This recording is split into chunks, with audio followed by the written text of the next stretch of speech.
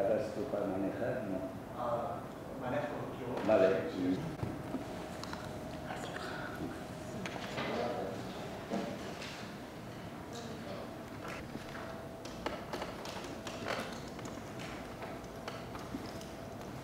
De eso se trata precisamente el grupo de trabajo sobre desapariciones forzadas e involuntarias. Fue creado precisamente para eh, generar un canal de comunicación de las víctimas y los estados. También Gabriela Guzmán, que es nuestra secretaria, así como el resto de los miembros de nuestra secretaría, eh, Vladimir, que estuvo ya eh, trabajando y conversando con ustedes.